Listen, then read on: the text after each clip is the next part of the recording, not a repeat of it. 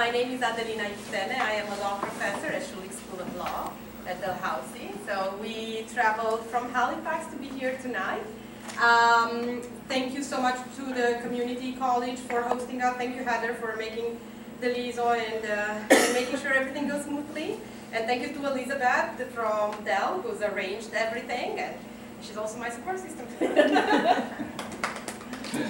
um, as I said, I'm a law professor, and my area is quite interdisciplinary.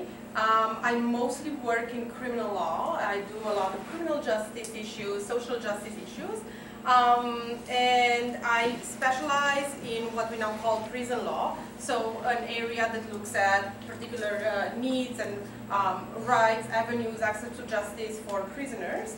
Um, but the research that I do, as I said, is quite interdisciplinary. It goes beyond the limits of the law into health sciences, social sciences, criminology, um, and, and so forth.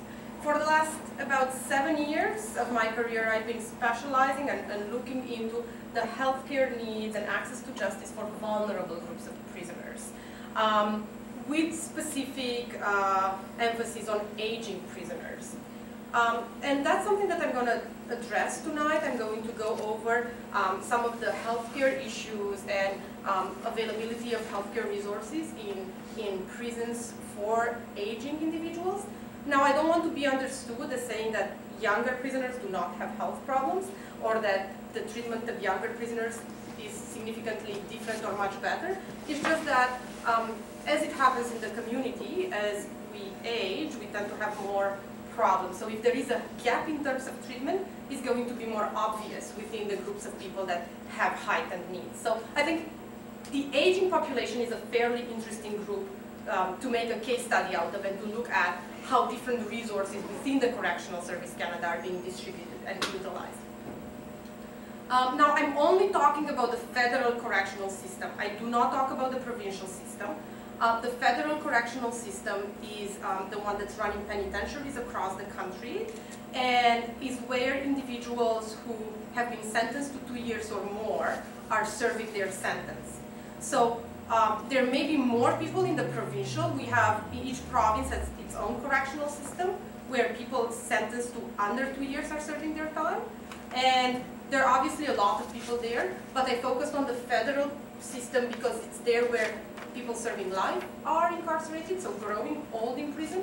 People serving indeterminate sentences are, serving very long sentences, or are in and out, in and out of prison. So for the point of view of aging, it's definitely a more, um, it's, it's, it's, it's a more important place to look at, I would say. Um, now, I'm going to do two things tonight. Um, first of all, I am going to give, try to provide a rundown of the what the federal correctional system looks like, what's the legal framework that is governing um, the rights of prisoners, the uh, different, uh, different activities that take place in prison, um, basically the whole prison construct. There is a framework behind it, and we're going to talk a bit about it. And we're going to see that actually on paper, um, that legal framework is quite progressive, and is actually one of the better ones that exist um, around the world. Now, in the second part of my talk is not going to be as optimistic. Um, that one looks at how the law is being applied in practice within the federal system. And um, I'm going to present you with um, the results, some of the results of my study, which has been based on interviews with 200 older prisoners in penitentiaries. And um, I'm going to try to offer you the image of the older prisoners, individual that is aging in prison, the, the, the treatment that uh, he is getting, and the resources that are available, and the potential legal problems that occur when um, the law in terms of their rights is not applied to its fullest meaning. And we're gonna, I'm gonna inquire into what it means for our community terms of misapplying the law or not, uh, not always considering the constitutional rights of prisoners. Okay? So that's, that's just a bit overview of what I'm going to be doing. Um, the pictures that you're seeing are actually of actual individuals incarcerated in Canada and the US. Uh, they are courtesy of photographer Ron Levine, who's a photographer in the US. And he's kind of dedicated his life to, uh, to, to, taking, to going into prison and putting a face to the process of aging. Um, his, his beautiful photo album is called Prisoners of Age. It's, it's a wonderful, wonderful collection. Um, so the federal correctional system, as I mentioned, is the, uh, is the Canadian system that is bringing together all the penitentiaries across Canada and is governed by a governmental uh, agency called um, Correctional Service Canada, um, which is responding directly to the Ministry of Public uh, Safety. And they have penitentiaries of all levels from minimum, medium, and maximum security uh, and multi-level for women. And they exist from coast to coast. We have one here in Spring Hill, um, and there is another one in Truro, which is for, for women. Um, and there are also some other institutions, such as the Regional Treatment Center. In each region, there is one, which is basically a psychiatric institution where people, uh, prisoners that are having acute mental disorders are being sent there for, for treatment. It's still a correctional institution, but it has this psychiatric uh, uh, uh, kind of angle to it. Um, now, basically, prison is what we call a total institution, so it's an institution where the people that are in it are under full control of the state. So the state is the one that has to provide everything for them because their autonomy and possibility of choice have been completely uh, taken away by way of the state intervening and uh, uh, taking away their liberty. So we need a very robust framework in order to ensure that um, we are maintaining the kind of tension between the needs of, sec of security of the institution and the need of the correctional system to fulfill its purpose and the rights that these individuals have, including, for instance, to health care. People grow old in prison, people get sick in prison, and they don't have the option of going elsewhere and seeking for help, even if they have money to pay for it, right? So there is the need for the institution to provide for that kind of treatment. Um, and obviously, a lot of times there is a tension between the provision of services and uh, the ensuring that the security of the institution is running smoothly, right? So for that we have a very big federal piece of legislation which is called Corrections and Conditional Release Act. And it has its companion Corrections and Conditional Release Regulation. Um, now these pieces are regulating absolutely every aspect of life in prison. Everything from uh, the intake of prisoner, how you're supposed, and they are mandatory, how you are supposed to uh, treat prisoners upon intake, uh, how you are going to um, assess their risk, how you're, in what institution you're going to place them, um, what are their healthcare entitlements, um, what, when do they go to solitary confinement, how they are being to be dis disciplined, what kind of visitations, they, everything. Every single moment, from the moment when they wake up to the moment when they are going to be released later on, is governed by this piece of legislation. That part of it is to ensure that that tension I was talking about between rights and security is kind of maintained and is not at the whim of whoever is uh, at the political will, let's say, right? Um, so as I'm going to, to, to, I'm going to focus when I'm talking about this uh, piece of legislation on, on a number of issues. But first I should probably mention the fact that at the moment there are 13,000 people incarcerated in federal penitentiaries across Canada this number changes from year to year. It's been fairly steady within the last decade or so. 2,000 of these people were, are over the age of 50. Now, why am I saying 50? In prison research, we use 50 as the lower limit of seniority. I know it's very young, but the reason we do that is because empirical uh, uh, data shows that any given prisoner tends to have the problems of a person who's 10 to 15 years older than them in the community. So we kind of lower the age of seniority to, to correspond to that reality, right? So there are about 2,000 people that are incarcerated uh, uh, over the age of 50 in these, in these penitentiaries. Um, again, at all levels of security. And I'm going to talk to you about that more when I get to the portion when I'm discussing my study. Now, um, I just want to point out from the big framework of legislation um, a number of provisions, a number of provisions that I think are particularly impacted by um, what my study brought out or brought up. And I'm going to kind of link them to the finding of my study, so just bear with me a bit. Um, one of the very important articles in the Corrections and Conditional Release Act is Section 81. Section 80 and 81 are talking about um, the healthcare provision. So they are guaranteeing the fact, it's very clearly stated, that individuals that are in federal correction, in the federal correctional system are entitled to um, unlimited access to, uh, to uh, primary healthcare at the, the, same levels as in the community. And they are, um, they should have access to, in reasonable amount to uh, non-primary health care. And mental health care, the legislation says, is a primary, primary uh, healthcare issue. So they should be having access to that. Two issues, an issue of access and an issue of quality should be at comparable levels to those in the community. Um, so we have that on one part, and we also have that coupled with some of the rights in the Constitution. Obviously, the right, there are a number of issues that um, can be linked to healthcare in terms of constitutionally protected rights, such as the right to be uh, uh, to be free from cruel and unusual treatment and punishment, for instance, when does the lack of health care make tilt, tilt into that field? So those are some of the questions that I'm going to go into a little later. Um, the other provisions that I think are important, because I'm going to come back to them, are the regulation of security measures. Again, remember I was saying the other end of the tension is, is the security needs and the, the obligation to ensure that um, uh, uh, there will not be a lot of security incidents and that people are going in to get rehabilitated and come out rehabilitated. Um, so one of those issues is the disciplinary system. There is a whole disciplinary system that is put in place. And the provisions are regulating every kind of aspect of that disciplinary moment, from the reasons why you would get a disciplinary uh, action against you, to how you can challenge it, to who's going to represent you, and so forth. Um, and I think the important point for this talk is, is the reason why there is a disciplinary uh, system in prison.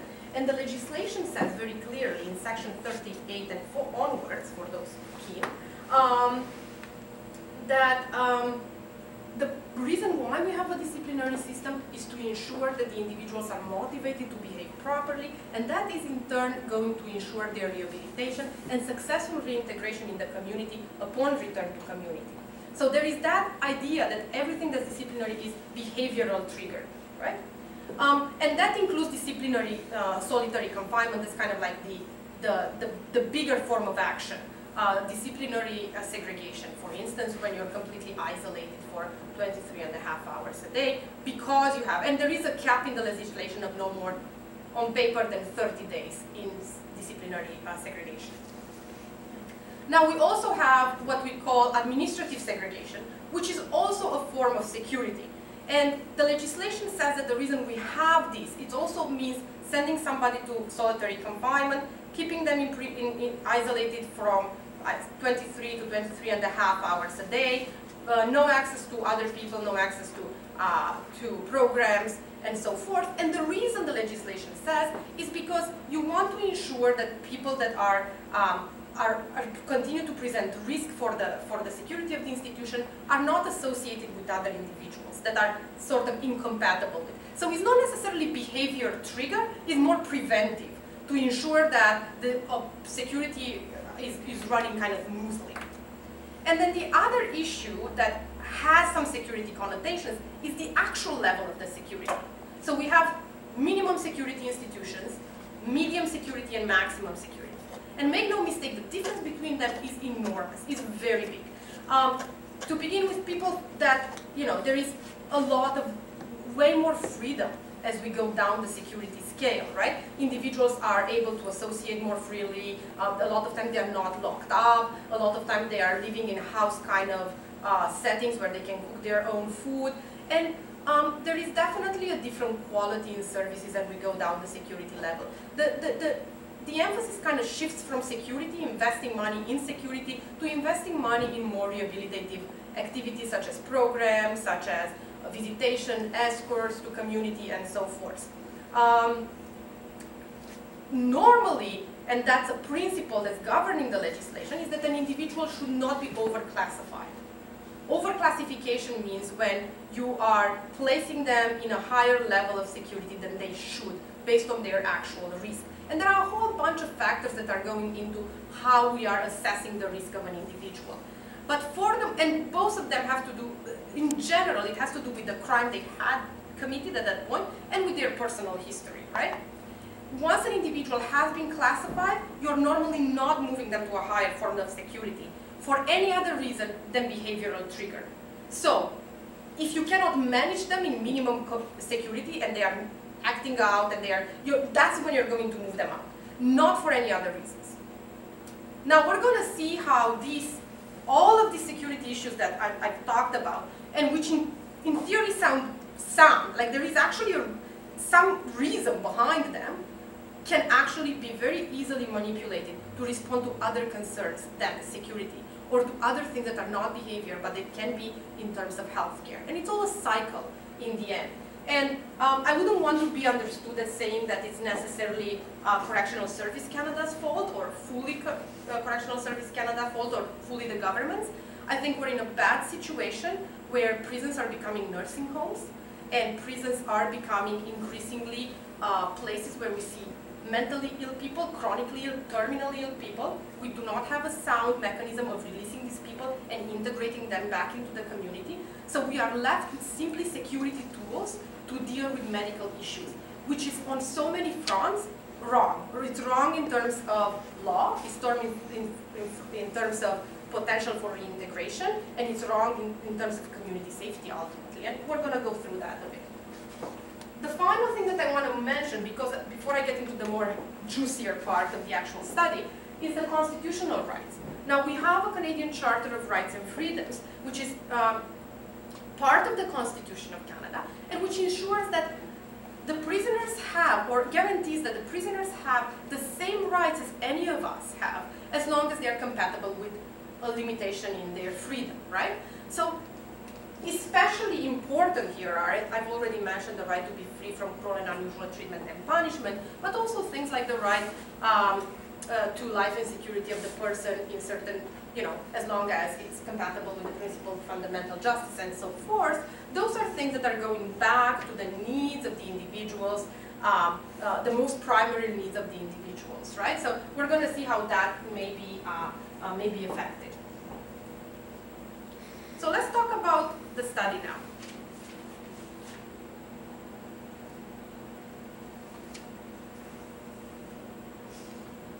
It's fairly interesting because the issue of aging in prison has been a very frequent topic of this discussion over the last 10 years or so in the American literature because there is definitely an aging of the population worldwide, not just prison, like just worldwide. So obviously this is being mimicked in the prison settings, right? And obviously there has been a significant understanding of the fact that aging, were the image of the young, strong prisoner in 25, 30, you know, very healthy, who needs to go to school and better himself and come out and be a productive member of the society, is being completely shifted with the, with the, with the aging of the prison population and the, the demographic uh, worldwide generally, right?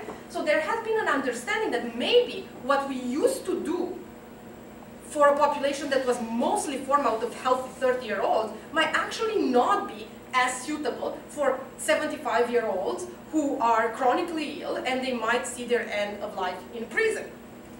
So Americans have, who also have, you know, life without possibility of release and so, they have been way faster than we are in researching these issues and looking at them.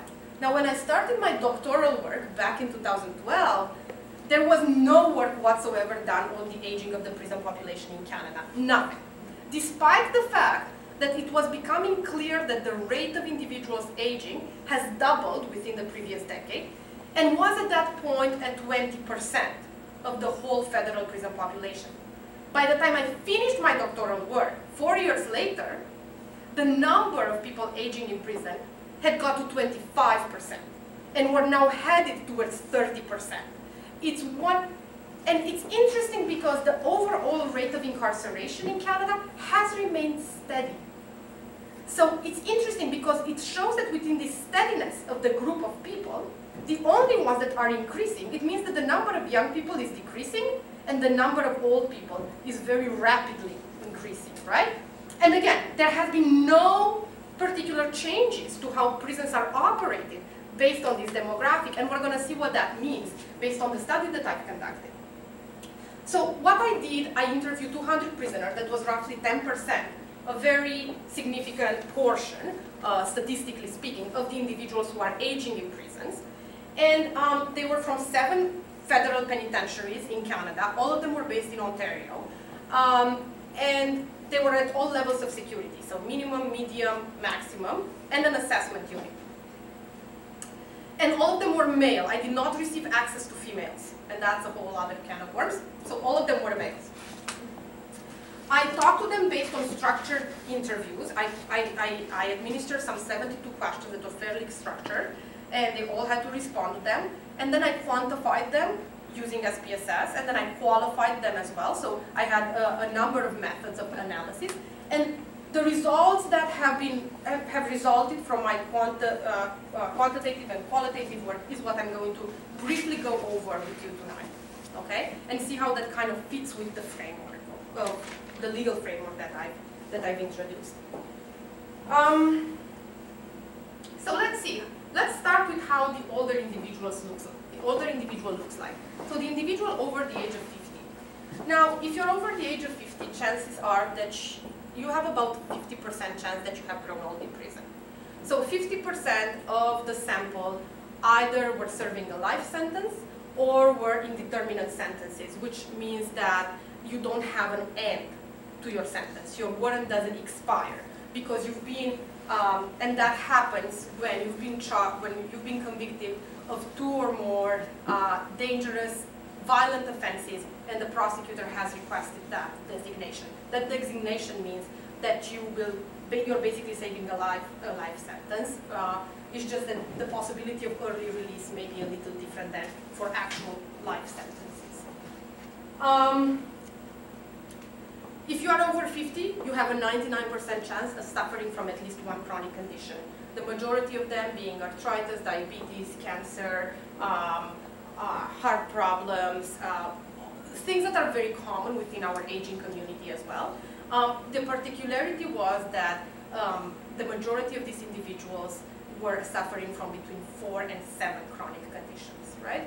52% um, were suffering from debilitating disability, so that meant that it was impacting their ability, uh, activities of daily living, whether that was walking, going up and down the stairs, getting into bed, washing, and what's not. Um, it also meant it was interesting because it was their disability was statistically correlated with a number of other problematic issues, such as ability to sleep at night. It was correlated with chronic pain, and it was correlated with alcohol abuse. Um, and that brings to chronic pain. As I mentioned, the majority of people suffering from a disability were also reporting chronic pain, but there were also people not suffering from disability that were uh, reported chronic pain, over 50% of them.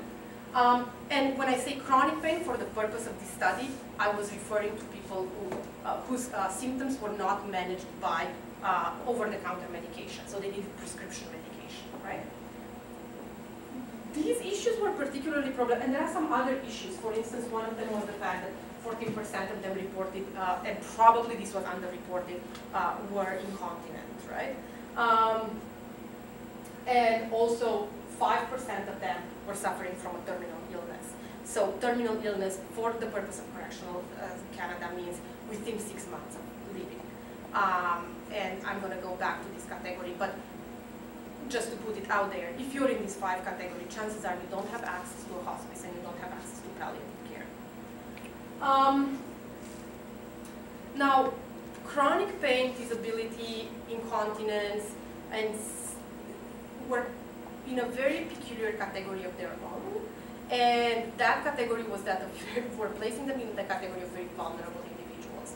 So there was a lot of peer abuse registered. Um, about 70% of them reported some form of peer abuse, and the rate was double in the people that were suffering from high number of chronic illnesses or from um, incontinence or from disability than people who did not. So that was a significant rate of abuse.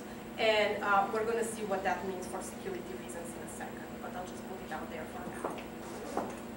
Uh, so let's see how, how the guy over 50 looks like mentally wise. Not great. And again, this is probably underreported. Um, some 45%, 48% were suffering from at least one chronic mental illness.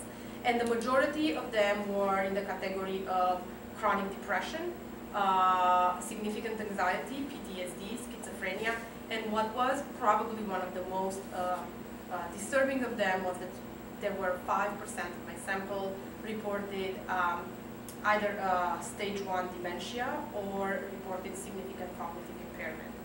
And this is an interesting and sad group because it's the moment when you look at them and you know that uh, there is nothing that anyone can do. And I'll tell you why. In maximum security, it was one of the guys who was Millhaven maximum security, and he, he had been in for about one year at the point when I was interviewing him. Now, he was in for murder, so he was serving life. The thing about murder is that no matter how your personal history looks like, no matter how you know how your how your risk uh, other risk factors are you know they might be at the very low bottom.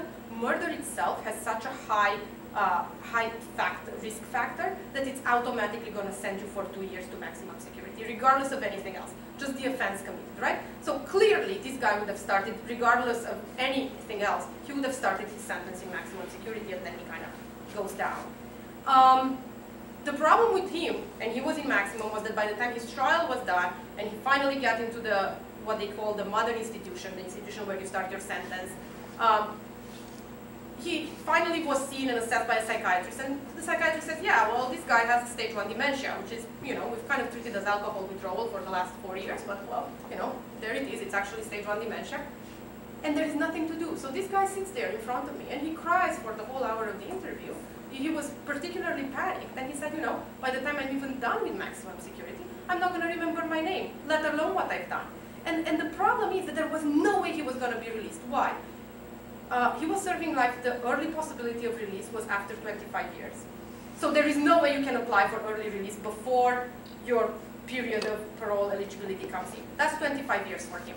Uh, dementia, even when it takes a while, it doesn't take 25 years to, to set in. Um, and the second issue, in Canada, we do not have a functioning mechanism of compassionate release. So we have a thing that's called parole by, by, by exception, um, if you are serving life, you are not eligible to apply for parole by exception unless you're suffering from a terminal illness. And guess what?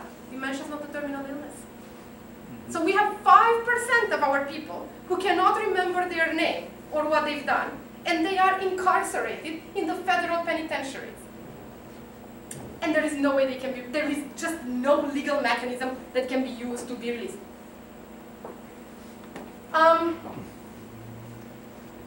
we're going to talk in a second about the vulnerability that these individuals are presenting, um, but I'm going to address them in the terms of treatment and accommodation because I think that's particularly important. I mean, the rates of disease and the rates of illnesses, and I could go on, I have pages and pages of that, they are not particularly different than we see in the community. Maybe a little higher because of the previous lifestyles and rigors of incarceration. Again, it's not spectacular. We see that in the community as well. What is spectacular and what is of concern is the availability or the responses that are available for this kind of issues, right? Um, and I'm going to start with simple things, with the accommodation and the infrastructure. Now, a lot of these institutions are old institutions. They have been built in the 19th century. They have been built in the, some of them. Uh, they have been built in the 20th century and they are not, many of them are not having disability ramps. Many of them are not having uh, working elevators. Many of them have very long distance in between the buildings. So the individuals are having to walk a very long, uh, a long distance in a record time under threat of punishment to get from their house, for instance, to the programming building or the kitchen or whatnot. And they have to go over these very long yards, which explains why 72% of them reporting falling within the last winter on unclean, unclean or um, uh, improperly uh, de-iced uh, pathways because they have to rush through it and they are not properly taken care of, the, the, the yards. Um, double bunking is a significant problem. These individuals, double bunking is currently over 30% in federal institutions. And it doesn't matter how old you are. The rule is the newcomer is taking the upper bunk.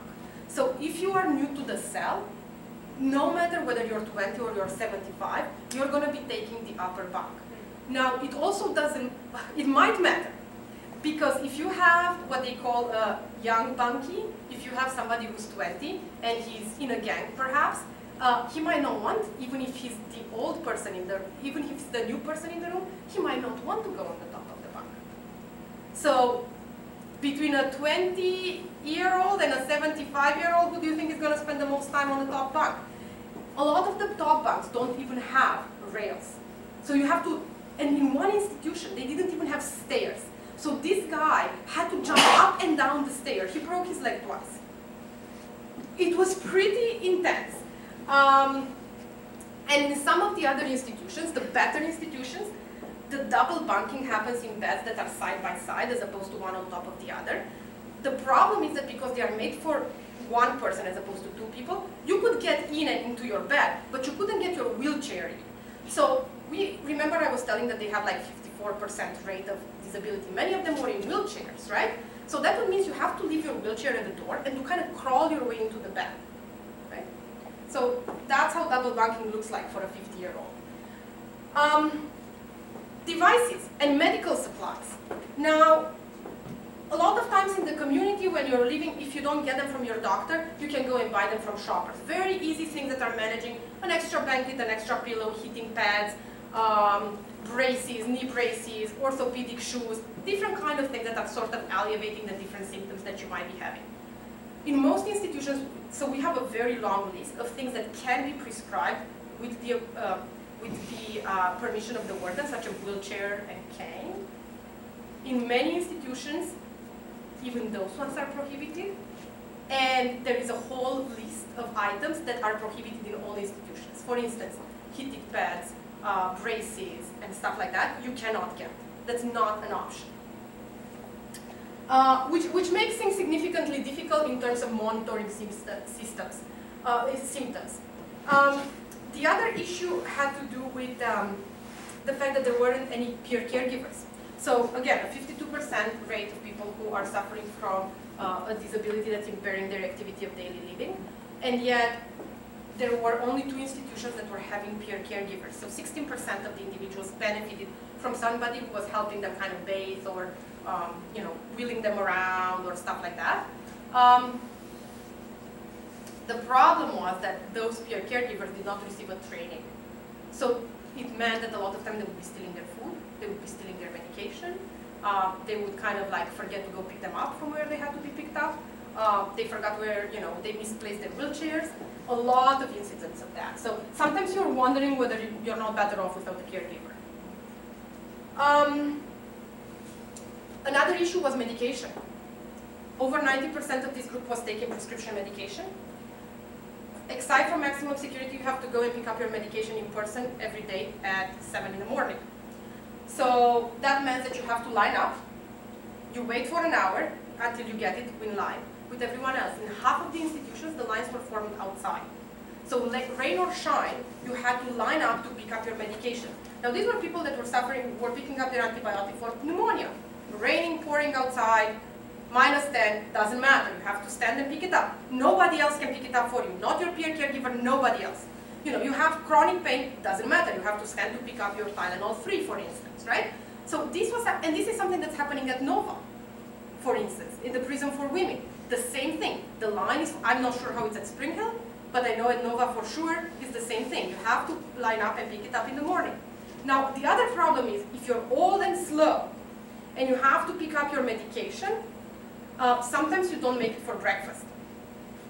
Now, imagine that you're a diabetic, by the way, high rates of diabetes, uh, especially in people that have been in prison for like the last decade or so. What you have to do is to have to choose if you go to pick up your insulin medication or if you're eating your breakfast. The problem is you cannot get your insulin without your breakfast. So that was, in one of the institutions, I talked about 10 of the guys, and there was no conclusion, no, no outcome to their complaints in that terms. And this seems to be seemingly a very simple thing, very easy to fix. Um, and the other big issue was that the fact that there was no accommodation for dying people whatsoever. Again, 5% individuals uh, were in a terminal stage of life. Um, a lot of times they would not be close to their parole eligibility date. So they wouldn't be at the time where they could actually be released through the regular parole mechanism, the early release mechanism. And for some whatever reason, nobody has ever heard of parole by exception. They would seem to fit squarely within you know, people whose health is not compatible with incarceration. And yet nobody has heard of it. And based on my research in the last 10 years, that particular provision has been used two times in Canada. So despite these huge numbers of people that should not be in prison, the only quasi-compassionate release mechanism that we have is not actually functional. So their options were, there is no palliative care, there is no, you know, kind of systematic end-of-life care in prisons. So you just take the care that you can get, you're being housed together with anybody else, uh, subjected to the same medication, restrictions, and so forth. Now, for the most part, you know, they were kind of trying to, um, uh, for the most part, they were kind of trying to keep them in lower security institutions. Um, there was this one particular institution that was called a death camp because they would have somebody die of natural causes every six months or something. Um, so 70% were over 50 in there and they were, it was definitely with the better conditions, for sure. So they transferred this one guy that everybody in that institution was telling me about. They transferred him within the month that I was there and um, they said, you know, he's going to have better access to care and medication and whatnot. The problem is that when you get transferred, your paper record doesn't immediately follow you because that's bureaucracy. So the paper was, his medical record was about a month behind him. This guy was in stage four cancer. He was in unreal pain. For one month, he was one housed together with everyone else, and he didn't receive any medication. Forget morphine. Forget anything else. He was yelling in pain every night. The guys in his house put money together to buy him a bottle of regular Tylenol from the canteen. Now, a bottle of Tylenol is worth one week of work for a regular prisoner. So they all put money together because they didn't know what to do with him. He finally did get some uh, uh, to work. He, because I followed up with what happened to him, so he finally, his paper did follow. He got some morphine and then he got like two weeks of chemotherapy and then he died. But um, yeah, so that was, you know, his, uh, uh, his outcome. Uh, not to mention that it was absolutely devastating on the guys that were witnessing that, right? Like the guys were, were terrified by what they were seeing and they were saying, these were very, very tough people and they were saying, you know, living in prison, I've lived in prison for 40 years. Living in prison is not an issue. I don't even have who to go outside to. But dying in prison, I don't want to die in prison. I don't want to get sick in prison, right? So it was that terrifying, uh, rampant fear of what will happen that was clearly having significant effects on their mental health and, and well-being. Um, and we get to medication, which is a very interesting topic because uh, the only painkillers available in prison, according to the drug formulary, are Tylenol-3 and morphine. Between them, nothing. So everybody, the default rule is that everybody who has a pain that needs prescription gets Tylenol-3. Now, if you were on something else in the community, good for you, you still get Tylenol-3. Um, in the community, Tylenol-3 is used for mild to moderate pain. Like, I don't know, a tooth abscess or like some mild post-surgery thing. Here, guys that were in fourth stage, in stage four cancer were getting Tylenol-3. Because that's what they had and that was secure to use. In some institutions, they would have morphine. There wasn't a particular rhythm to whether they would prescribe morphine or Tylenol-3, even though the difference between them is absolutely huge.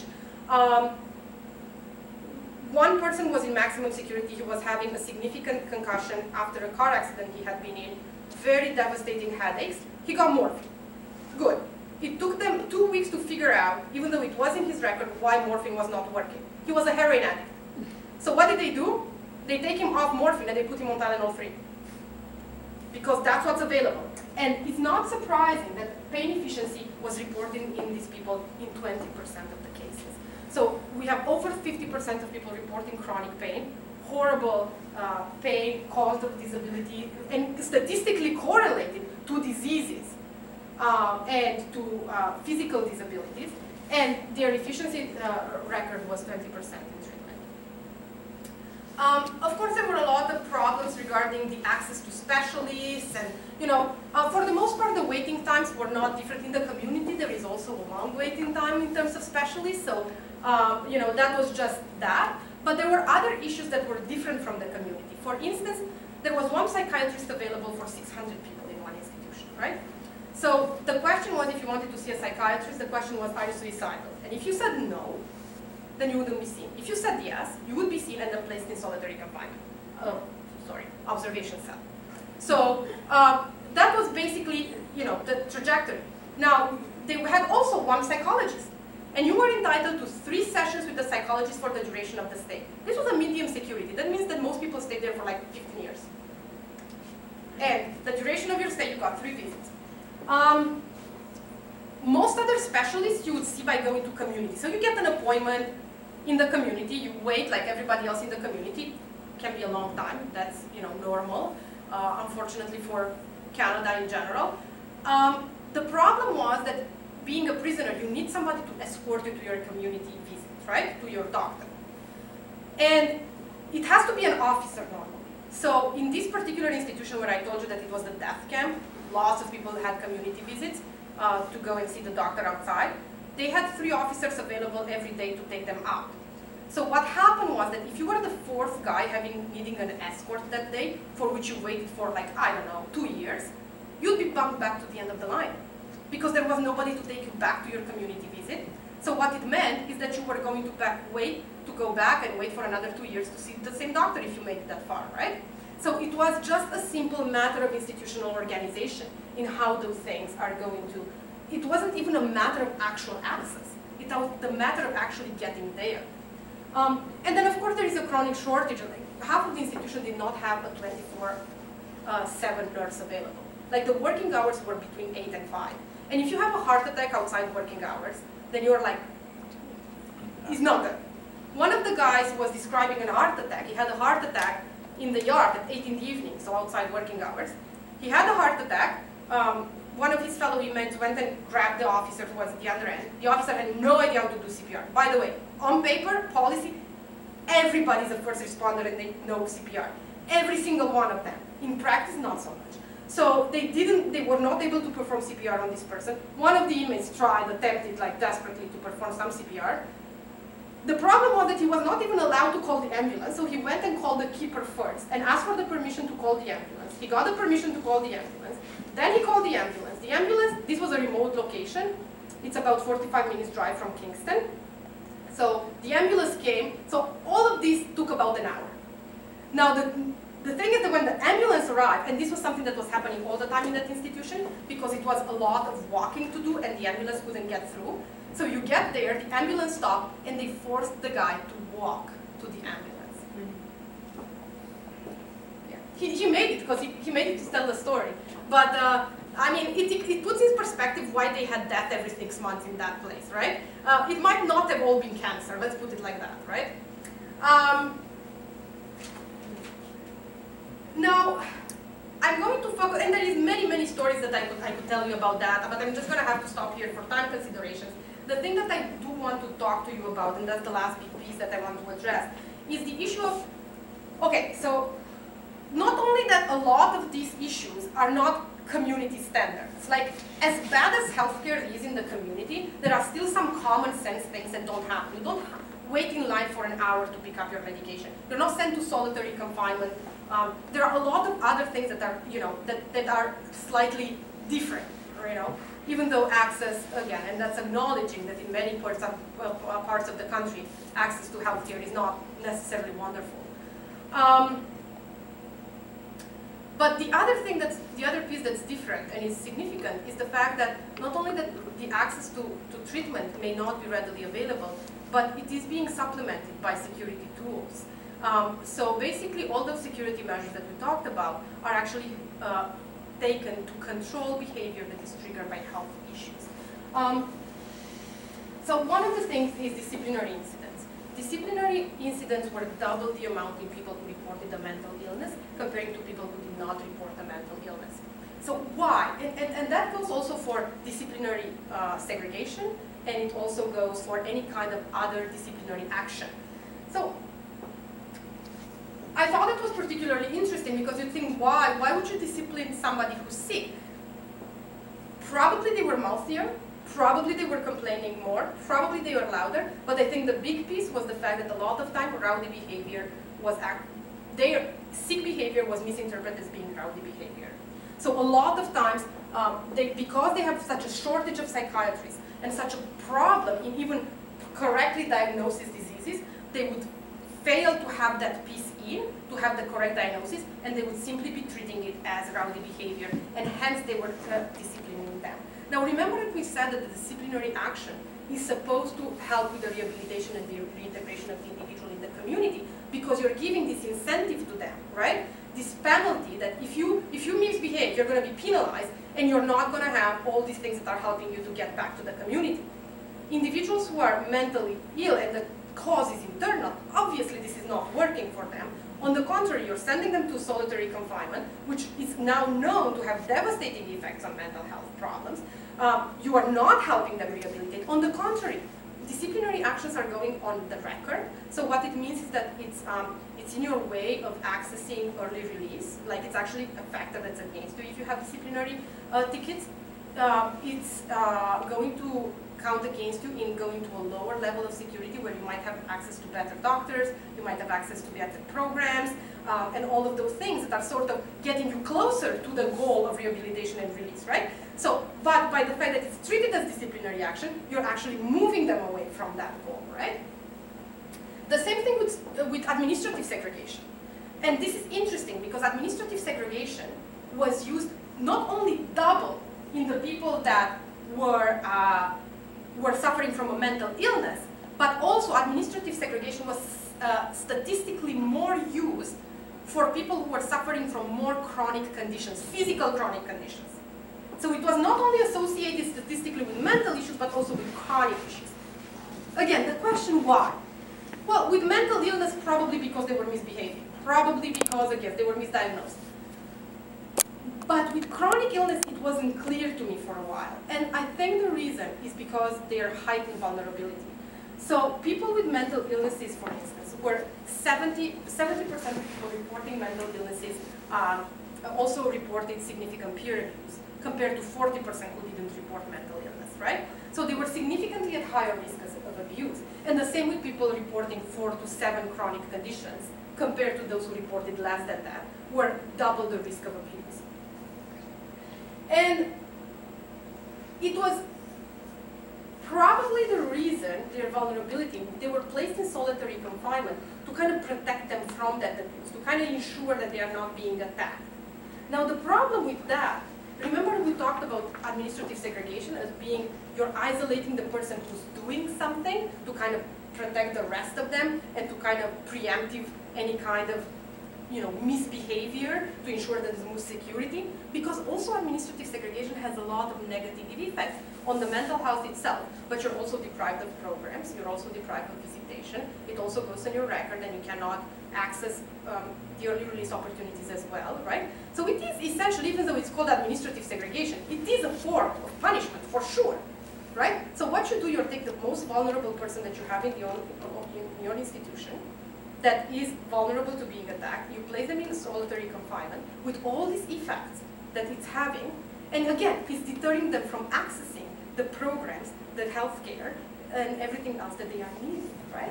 So again, you have that opposite effect as opposed to what you would be wanting to achieve by treating them.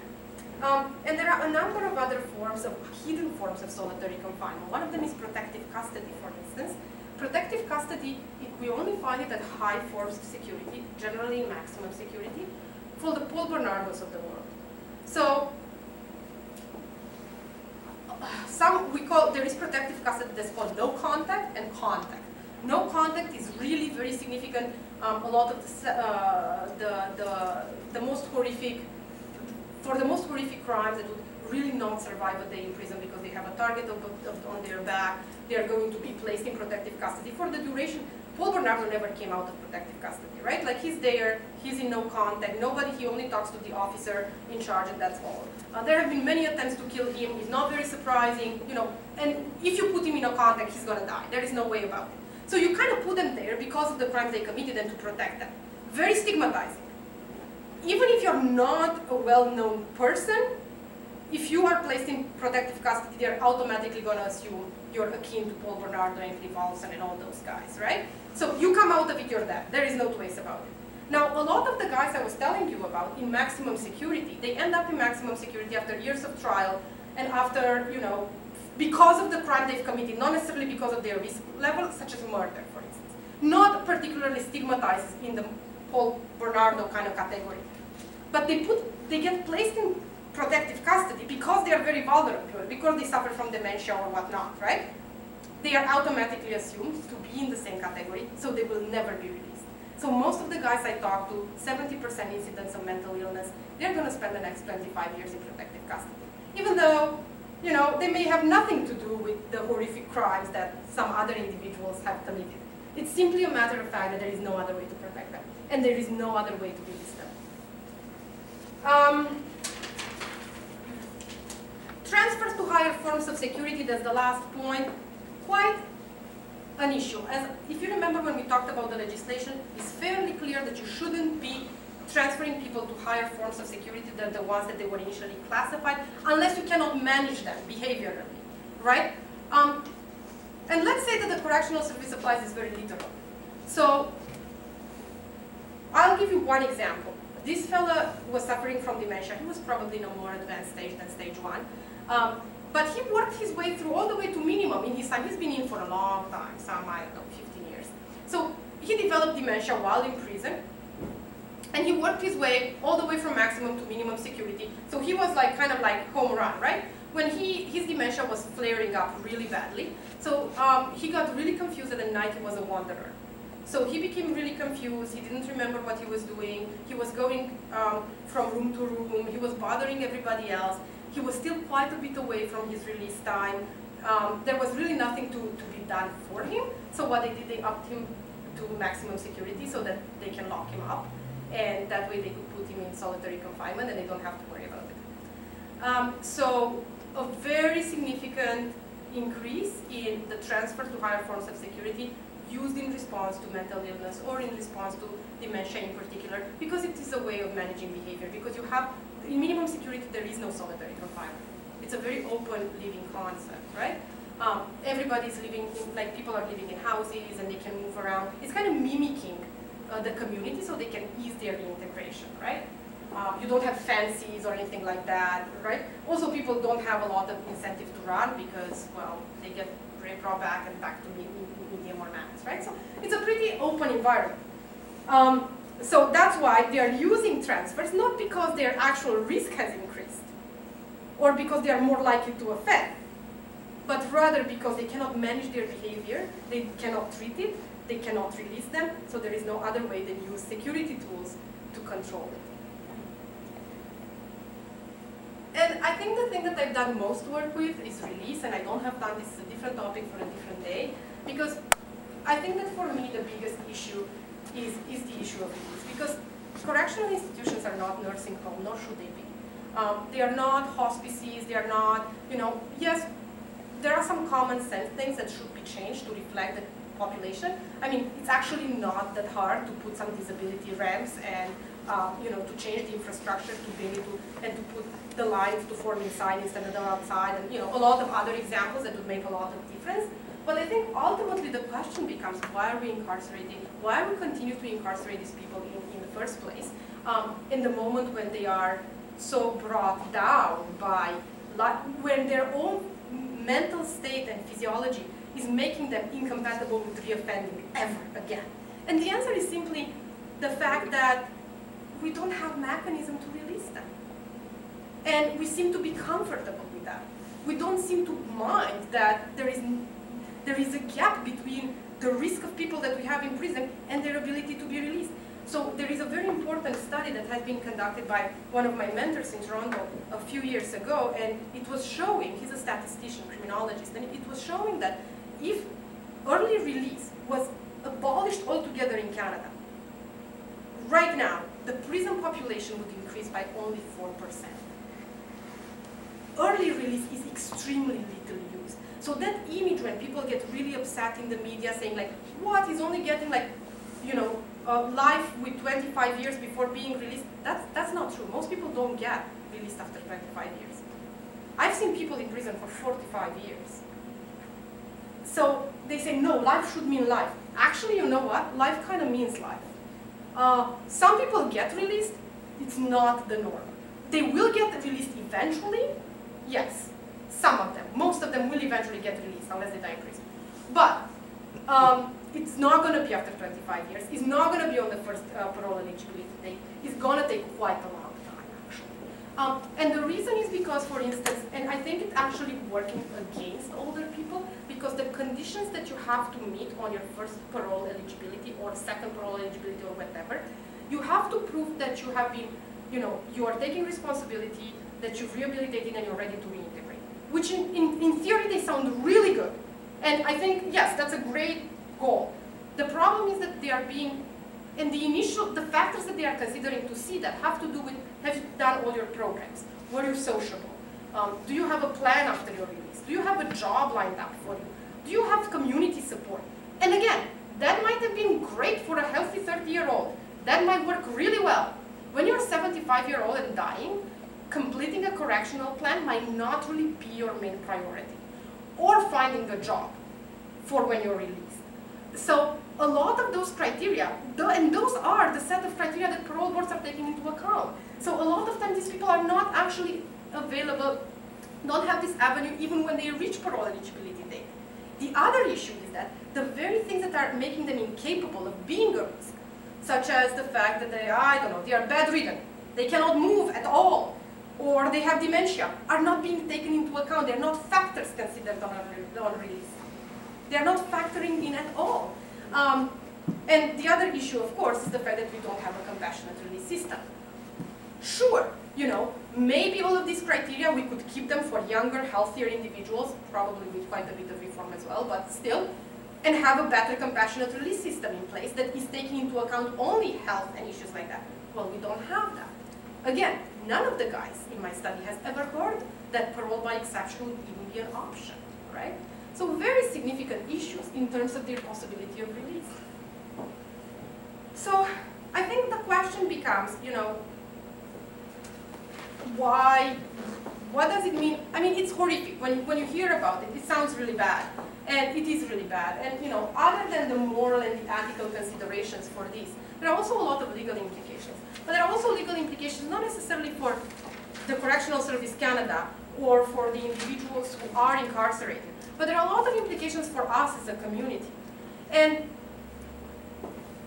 granted, prisoners are not a sympathetic group of people. It's always very hard to advocate on behalf of prisoners. And it's always very hard um, uh, to, to make the public sympathetic because they are not. Many of them are actually hardened criminals. And they, you know, you see them in the news and they are people you wouldn't want to hang out with. Um, but how I like to explain this is think of what, you know, for instance, the law and the charter are. Um, think of what the Constitutional is meant to do, right? The Constitution is not necessarily meant to protect, is not in place to protect the persons who are the majority at the moment in time. Because that's what the parliamentarily elected people are doing. That's why your democratic process, it's always going to reflect the values and what the individuals that have put them in power, the majority is wanting, right? That's what, you know, uh, is ensuring that. The reason why we have a Charter of Rights in a democracy is to protect the people we don't like. And that's what's speaking about the quality of the democracy. You don't have to like them. I don't like a lot of the people that I've seen, but it's not about that. It's about protecting fundamental and ultimate values that are guaranteed by constitution. Because if their rights are being breached, any of our rights can be breached. Mm-hmm. Because it means they don't mean anything whether we're women, whether we are people of color, whether we are LGBTQ plus community, whether we are elderly, whether we are young, whether we are on the wrong side of the politics at the moment in time. It means that if one group of people can be deprived of rights and you know basically nobody's looking, that can happen to anyone. So the strength of a democracy comes essentially from forcing the laws to be respected and applied appro appropriately, even when we don't believe in that cause necessarily. Even when we don't care about that cause necessarily. That's what democracy is. Um, the other issue that has to do it, the fact that, and people don't think about it, is that the failure to apply the law appropriately in prisons means that ill people are not being diagnosed correctly. It means that they are not really receiving the programming and the rehabilitation they need to make them functional citizens. And many of them will come back into the community. Like, a decreasing number, I would say, with the uh, increase of terminal illnesses. But still, a good 90% at some point in their life are going to come out of prison and they are going to be our neighbors. And we want our neighbors to be stable people who have rehabilitated and who, who can be productive members of the society. If you're putting them in a prison environment that is actually failing to diagnose the problem that they have, failing to provide them with the treatment they have, fail to take their rights into consideration, you're actually producing more unstable people. You are producing, you are having exactly the opposite effect of what the system is supposed to doing. So again, people think through a lot of vengeance. A lot of times the public opinion is very vengeful and you know, they, they think a lot in terms of, well, you know, if you can't do the time, you shouldn't have done the crime. Well, great, but the, the thing is that they will come back and that you've mistreated them significantly in prison and they're not going to be better. They're not going to be better individuals in the community. And you kind of just shoot yourself in the leg with that. You've just invested a lot of money in somebody, making somebody you think is bad worse. So it's not a sound decision. And thirdly, and people don't, and I don't like to talk about money because coincidentally I actually believe in this cause, so I do believe in the human and moral dimensions of these issues. I've also met wonderful people in prison. Wonderful, wonderful prisoners, aside from, you know, so the image of that beast is not necessarily accurate. But that being said, um, and that's, I guess, a different conversation. But that being said, there is also a very pragmatic dimension to. And that, do you know how much it costs to keep somebody in a federal prison? It costs, for a healthy person, healthy, no health care, no solitary confinement, it's $100,000 a year. To keep somebody who is sick in prison, in solitary confinement, either sick or in solitary confinement, it's $300,000 a year. Do you know who's paying for that? Mm -hmm. Us to keep somebody in a nursing home, it costs $50,000 a year, right?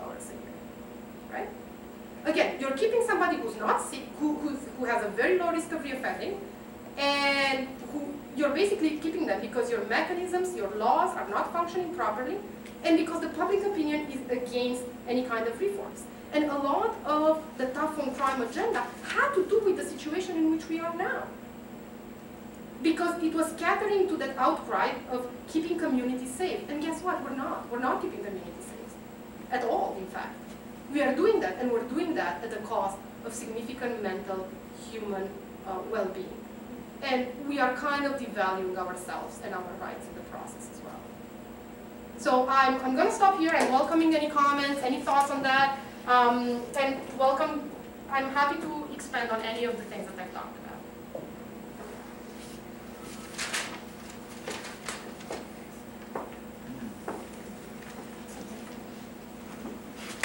you were saying that there's uh, 2,000 people over age 50 across Canada. You would, I'm thinking that's probably going to increase. Oh, it already has increased. 2000 was at the time when, in 2012, when I was looking at that, um, and that was roughly 20 or 21 percent. So right now, if we're at like, and when I finished, it was 25 percent. Now it's about 26, 27 percent. So that would be, yeah, that would be uh, 2,500, something like that right now. So it definitely would have increased by since then, and it's definitely increasing because we're heading towards 30%.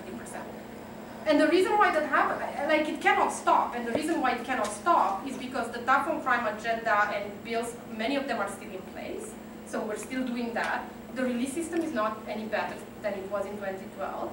And the other, uh, the demographic continues to age worldwide, right? So there is no way that this can, can stop unless something is being done actively about it.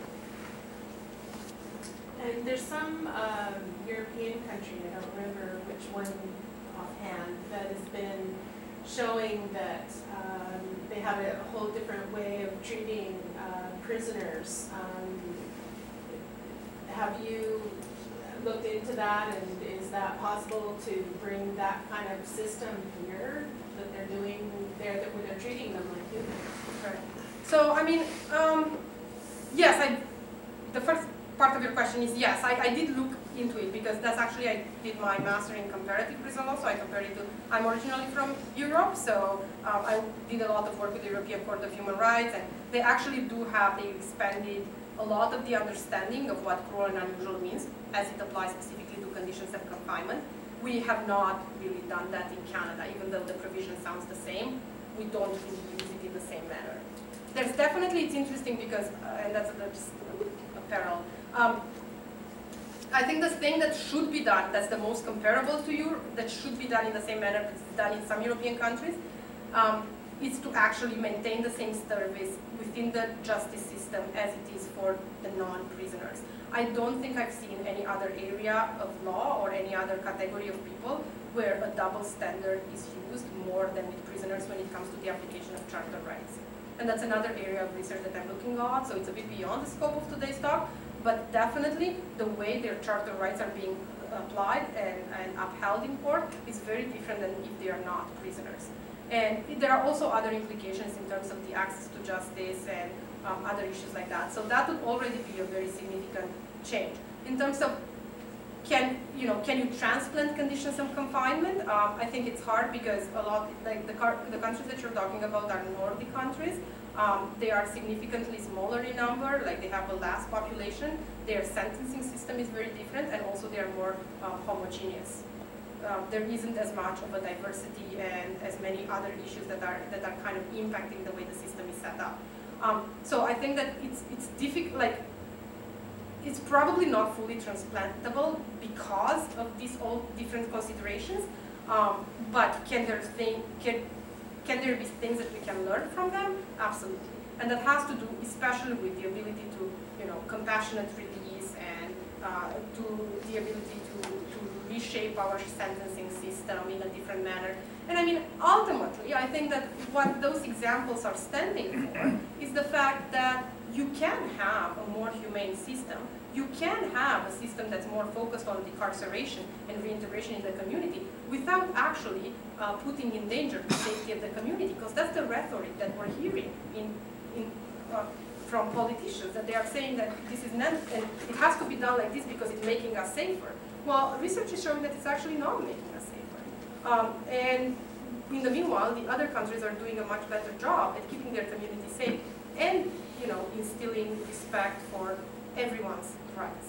Do you think it's part of the moving it to a for-profit model that this rhetoric is at the basis of, like it is in the States? Well, I hope not, and I don't think so. I, I, I hope, I mean, even in the, in the States, um, the for-profit model has started to decline, and it's actually starting to reduce in number significantly. And the reason for that is because they had a very significant issue in applying the, a lot of the regulations that would apply to state actors, including constitutional considerations, would not apply to these not-for-profit. So it was really hard, to, uh, sorry, to these for-profit organizations that were like private prisons, right? So it was actually significantly difficult to control them, but what was also more difficult was that the standards in some of them were significantly lower. Um, and without any kind of legal accountability, right? So uh, the movement in the, it's interesting because we're seeing in the States a movement of uh, kind of moving more towards a more humane process. They're still very far away, but you know that's kind of the trend, even in the, the current political uh, uh, regime. Where in Canada we're seeing exactly the opposite, right? You may have answered this question, but did you, in your research, notice differences in the uh, level of care given or provided in minimum, maximum security? Yes, absolutely. So that was also another another issue, right? A lot of times actually, and not only depending on security levels, sometimes simply some institutions were purely better. They had better staff, the correctional officers were just nicer people in general. You know, I appreciate the work that correctional officers have to do. It's a hard work. You know, some of them are really nice people, but in some institutions, the, it's you make you it makes you wonder how did somebody lose their humanity like that. It's to a certain degree it's better because clearly the rule of law has made significant progress since the 80s, uh, but you see a lot of abuse still going on. And again, in some other institutions like the one that I was telling you that's called the death camp, you know, um, the, the care that, you know, the quality of the people that were there was significantly better. Um, the quality of the, the, there were more access to medical care. Um, the officers themselves, like, the way officers treat you, they are the first responder. It's making such a big difference. And what happened is that either they became the same under peer pressure or they quit. Because there was no changing that environment. And in other institutions, in the institution that I told there were 600 people, for instance, again, and they would say, I would ask them, that was a specific question, how are your guards treating you? And many of them said, you know what, most of them are just, like, are just mean by negligence, like they just ignore you, they don't care, and you know, sometimes it's better. Some of them are really nice. And you have two bad apples that are really horrible people, but they are gonna make all your life miserable. And you're hitting that blue wall of silence, and you cannot get past because nobody's gonna speak against them, right? And these guys in, in the institution where it was a medium high, there were 600 people, a lot of people had wheelchairs, and what they, the officers would do, they would play pranks on the individuals and they would tie the wheelchairs to the table. So if the, when the guy was sleeping, for instance, he would go in and he would tie the wheelchair and the guy could not access his wheelchair. Or he would take the wheelchair and he would put it in somebody else's uh, cell. And you'd know where it is. Just things like that that are, so I mean, certain things did not depend from one institution to another. For instance, access to Tylenol-3, that was all there was. Like that's a national regulation, that's all you get. How many psychiatrists you have employed, that's a national regulation that already is. But the quality of the people employed and the environment is significantly different. And it did make a difference in the quality of their life, and it did make a difference proximity to town. That was an important part because the closer you were to town, the faster the ambulance arrives, you know, the more, like, it's, it's a different kind, the more volunteers you get, you know, that kind of thing. Like, it's not unlike here. Springhill is very far from Halifax, very few, very, very few volunteers in Springhill. Nova has significantly more because it's closer and it's in also in a, cent in, a, in, a, in a more urban center, right? So the same, it depends on so many other factors, right? Is there anybody within the system who advocates for better health care for prisoners? I mean, you know, I'm, I'm, sure there is. There are great people working with Correctional Service Canada. I've, I've worked with a lot of great people with Correctional Service Canada. Um, and again, sometimes it's not just about them per se, it's also more like the governmental bureaucracy, uh, the funding that is available, and simply a, not a well thought system that needs to be rethought completely. Um, there definitely have been people, there is a lot of individual workers that, you know, occupational therapists that I've met, or like nurses or doctors that are wonderful, compassionate people, and they do the best that they can with it. But again, their hands are tied. Like a doctor cannot prescribe what he or she wants. A doctor prescribes what's available. And if you prescribe something else, tough luck. That's that, you know, like you're not gonna have, you're, you can, their hands are tied from so many points of view, right? So um, there are people who are advocating and there is, you know, um, we see them all the time and in, for instance, there is in, in BC, that's a provincial institution though, it's Ruth Martin who was a, a, a prison hospital who's now one of the biggest prison advocates and she's created amazing programs for the women there. Again, that's provincial, that's not federal. But similar people do exist, you know, and they are trying. The problem is that um, I think one of the biggest issues is the fact that you're working with a machinery in which everything is cover up.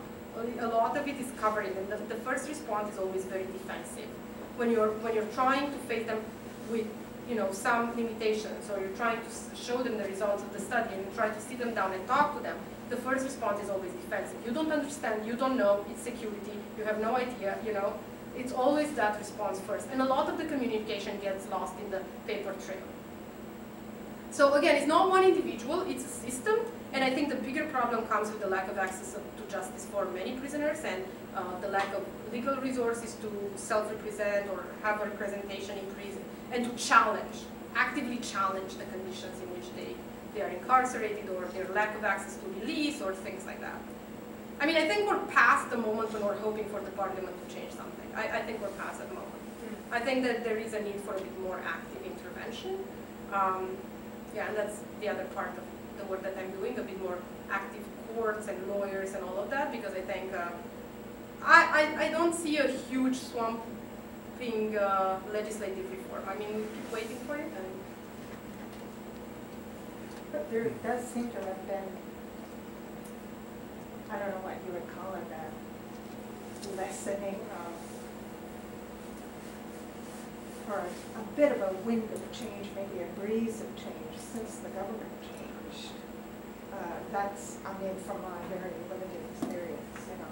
in No, I think you're right. Of the CAC, that seems to be what people who work in, within the correctional system. No, I think you're right, and, uh, no, I, I agree with you, like, I mean, I, I think that definitely, and again, that has to do a lot with the obligation that you're setting on people. I think that the, uh, again, even the current government has inherited a very flawed system, right? So it's only so much you can do to be in terms of a overwhelming reform. I do think things have changed, and things can change in terms of who are you hiring, who are you hiring in key positions. So I have also seen uh, quite a bit of change in terms of uh, the relaxation, in terms of you know how officers are behaving. More allegations of abuse are coming out uh, from officers, either against their fellow officers or against prisoners.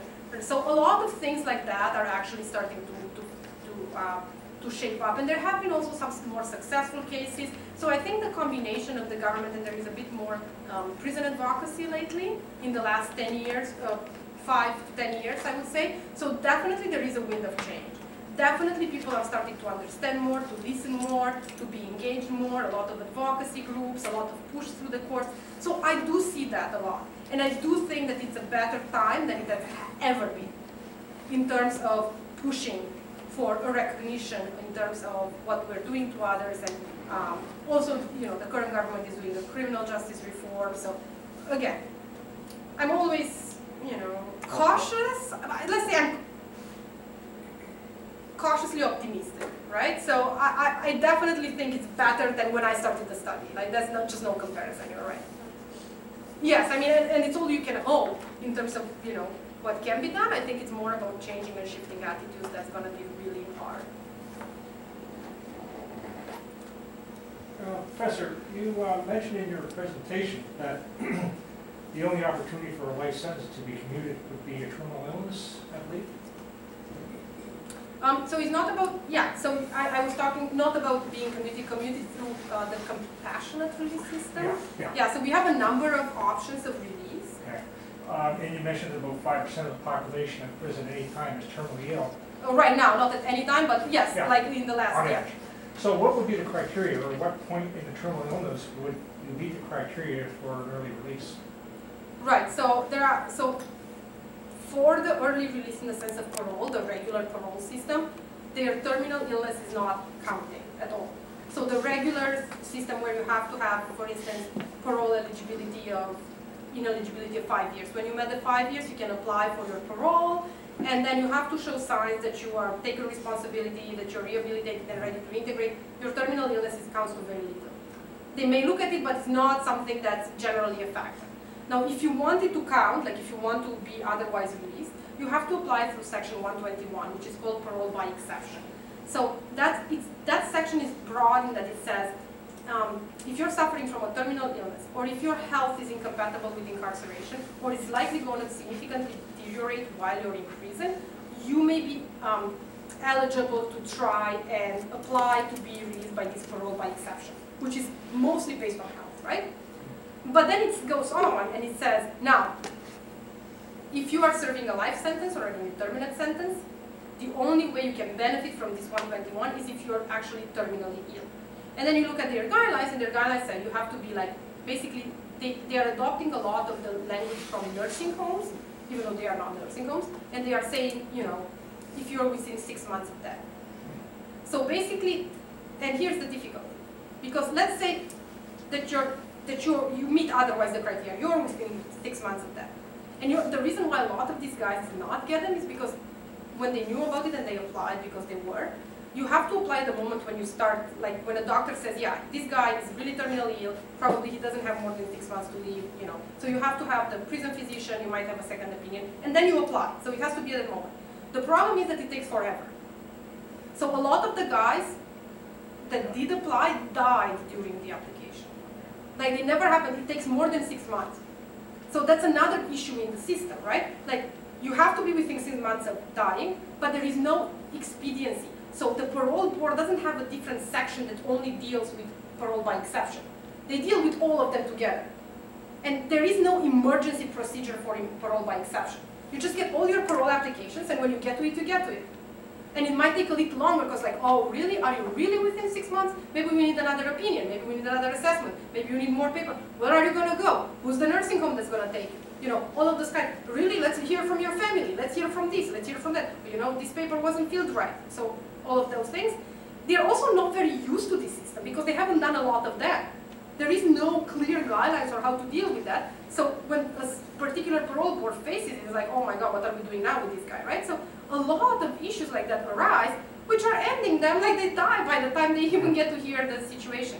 So that's another flaw. And I think what's very interesting in terms of this is because now we have assisted dying in, in, in community and in prison as well.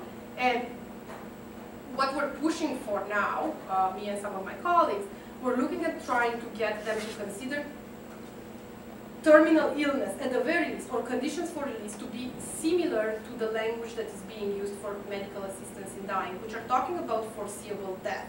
And that's definitely longer than six months. I mean, you are eligible to apply for assisted death. In, there was a recent case in Ontario where the guy was 10 years away from death, but he was in horrible pain and he was granted by court uh, permission to, to, to get assisted dying even though by a strict interpretation of the current legislation, 10 years would be too long. So there is definitely this movement towards having very broad periods of time in which you can apply for assisted dying. And yet, if you're in prison, you have to be within six months of death. So what? You're eligible for assisted dying, but you're not eligible to be released because you're sick. So it doesn't make a lot of sense at all, right? So that's, you know, um, that, that's a very big disconnect between the different legislations. Wondering if I could ask you a question about dementia. Mhm. Um, Dementia, particularly dementia as a result of Alzheimer's, is a progressive disease. Yes. And a senior prisoner who is suffering from dementia will eventually reach a point where they're no longer aware of, aware of why they were incarcerated, or even that the fact they are incarcerated, may not know where they are. Could not the argument be made at that point that the point of incarceration, at least the punitive point of incarceration, is now mute, or excuse me, moot? Because the prisoner doesn't know where they are or why they're there, what's the point of incarceration? Because part of that is punitive. No, exactly, and, and that's something that, that's, you know, part of the work that I've done, saying that um, the principles for release should mirror the principles for sentencing. So, you know, if you're taking these factors into consideration when you're sending somebody to prison, and their life circumstances change during that, and it's interesting because one of my studies, I was looking at what happens when an individual goes before a judge during sentencing, and he presents exactly this criteria that they're being brought by some other people before the parole board. And as it turns out, according to that study that I've done, judges are significantly more likely to take into account issues such as already ongoing dementia or uh, other chronic illnesses. So if you're a judge, if you are lucky enough to have been diagnosed with dementia at the time of sentencing, the judge will take that into account. If, if there isn't a minimum sentence, mandatory minimum sentence, of course. But if there isn't one, the, your sentence is going to look significantly different because you have those factors. And yet, if you develop them during the prison time, the parole board is not going to take that into account at all. So that the problem is, yes, I think you're absolutely right, and I do think you you you hit the nail in the head with that. The fact that you know there is a problem, and I do believe that it's actually mute. The issue is mute, and I do think that there is a strong argument to make that the purpose of incarceration are not no longer uh, no longer met. The problem is that nobody's listening. A friend of mine in Alberta um, had advanced stages of Alzheimer's. He murdered his wife. He was shown to be incompetent, but he's still in a locked-up facility charged with criminal charges. So he, he, he went through the whole court system not knowing what the hell went on and doesn't know that he murdered his wife, which is a good thing. Upstanding citizens in the community, these, these two were joined at the hip.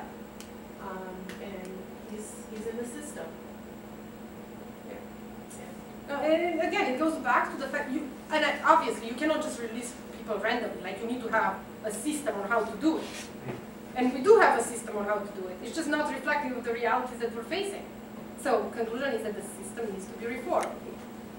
Now we'll see, we'll see what, you know, what will happen, I mean, at the moment to, to talk about the reform, I, uh, you know, the, the Senate's Human Rights Committee is actually looking specifically into the vulnerable groups of people. Um, I appeared before them two weeks ago, and they seemed very interested in this issue. They asked me to provide more details and to provide them with a draft of a new compassionate release provision. So they are interested in it, you know, and it's gonna make its way into its, into their reform, into their report. I do believe that. Now, what happens with their report is anyone's guess, right? So, again, definitely more interest, definitely more um, this government has been more willing to appoint independent senators that are more willing to go into these committees and to look at these issues. You know, the legacy of what will happen is to be assessed.